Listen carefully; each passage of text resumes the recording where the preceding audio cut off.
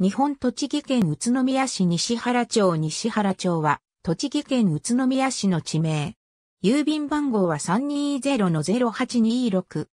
この記事では、現在の西原町のほか旧町名としての西原町についても触れていく。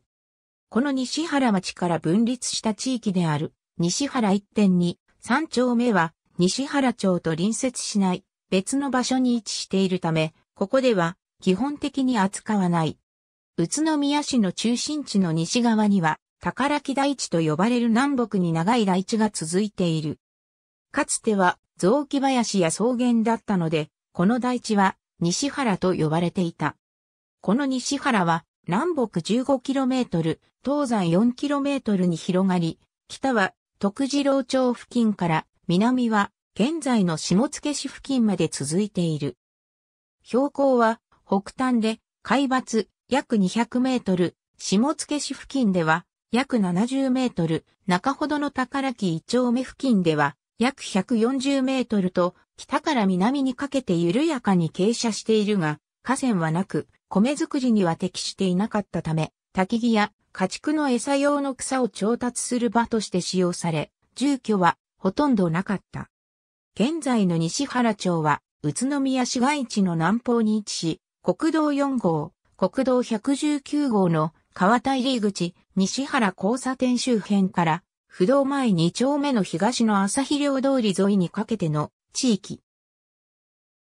西は、不動前2丁目、不動前4丁目、日南1丁目、日南2丁目、江蘇東町、北は花房1丁目、下河原町、下河原1丁目、東は柳瀬町、江蘇東町、川田町、南は、江蘇東町と接する。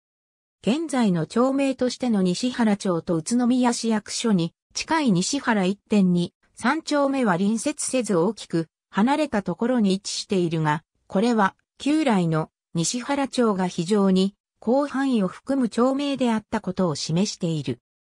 住居表示が行われず現在も残る西原町の区域は、かつての西原町の南端にあたり、1889年、西原町成立時は、北は泉町、清志住、西は現在の桜二丁目交差点、滝谷町、栃木県立宇都宮高等学校、東武線南宇都宮駅近辺にかけて、東は下、河原町、花房付近までの区域が相当していた。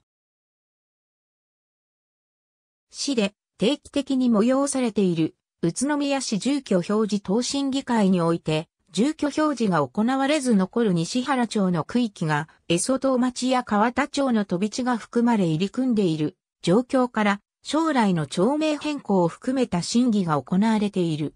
宇都宮市街地西方の住宅地の多くが該当する。西原町から分離した時期等の歴史については、各記事を参照のこと。西原の名は鎌川の西方にある地であったことから、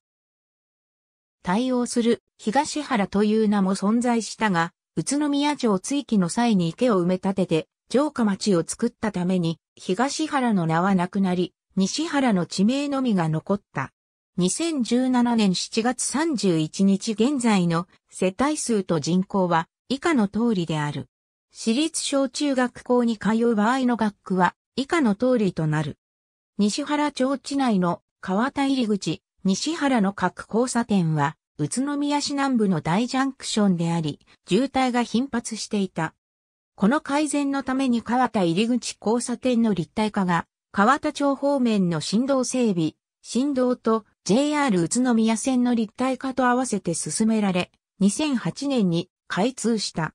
川田入口交差点付近に位置する川田入口バス停は、宇都宮市街地と郊外を結ぶ以下の2つの系統の分岐点となっている。ありがとうございます。